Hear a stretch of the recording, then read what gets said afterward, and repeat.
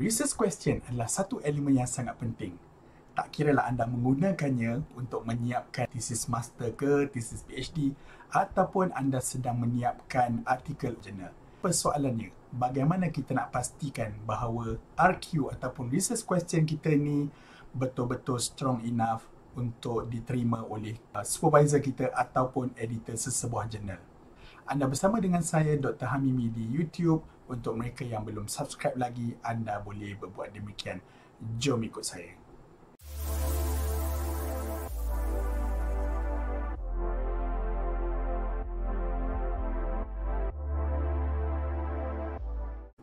Assalamualaikum warahmatullahi wabarakatuh dan salam sejahtera.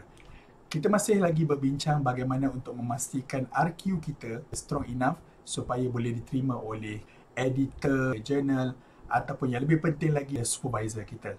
Saya ingin berkongsi lima langkah yang boleh diikuti oleh anda tapi sekiranya kalau ada cadangan yang lain, bolehlah dicadangkan di ruangan komen di bawah. Yang pertama, pilih topik yang broad. Bermaksud, perkara tersebut ataupun permasalahan kajian itu bukan hanya berlaku di tempat kita tetapi ianya boleh dilihat di kawasan lain. Contohnya, saya pilih tajuk Transformasi Pengajaran Bahasa Arab Berbantukan Teknologi.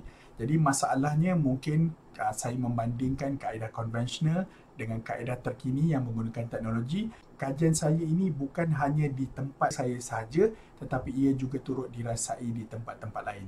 Yang kedua, buat bacaan awal kita jangan terus terjah kepada RQ tetapi kita perlu membuat bacaan awal dahulu untuk mendapatkan a big picture what is happening apa yang berlaku dalam topik yang telah kita pilih. Jadi daripada situ nanti mudah untuk kita memilih permasalahan kajian yang sesuai yang akan mendorong kita menghasilkan RQ yang baik. Yang ketiga khususkan ikut niche kita. Niche ni maksudnya bitara ataupun bidang kita daripada step satu tadi tajuk yang broad ataupun topik yang broad kita uh, narrow down kita kecilkan lagi mengikut bidang kita. Yang keempat kenal pasti permasalahan ataupun isu. Uh, jangan kita hanya meneka-neka sahaja tetapi isu yang telah dikeluarkan oleh kajian-kajian yang lalu daripada interview daripada report contohnya kenal pasti betul-betul apa masalah dan isu yang timbul. Dan yang kelima selepas anda telah selesai empat langkah tadi bolehlah kita memulakan draft RQ kita yang pertama. Okey, setelah selesai lima langkah tadi, bagaimana kita nak check bahawa RQ kita is good to go? Saya ada sediakan checklist untuk anda. Check it out. Yang pertama, researchable. Maknanya boleh dilakukan penyelidikan ke atasnya.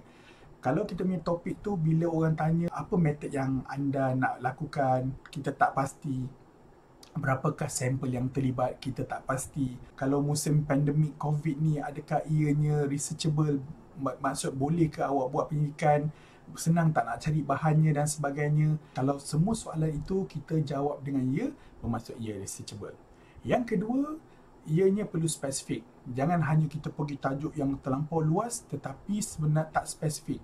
Kita nak mengkaji penggunaan teknologi dalam pengajaran bahasa Arab di sekolah mana, di peringkat mana, di peringkat uh, sekolah rendah, di peringkat sekolah menengah, di peringkat uh, universiti.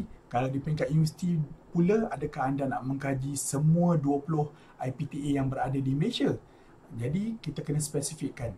Yang ketiga, feasible. Feasible ni maksudnya doable, boleh dilaksanakan.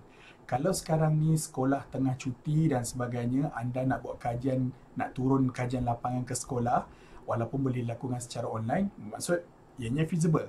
Tetapi sekiranya kita nak buat perkara-perkara yang nampaknya terbatas semasa musim PKP ini ataupun apa-apa juga isu ataupun bencana ataupun kekangan yang menghalang kita bermaksud kita punya kajian ini tidak feasible.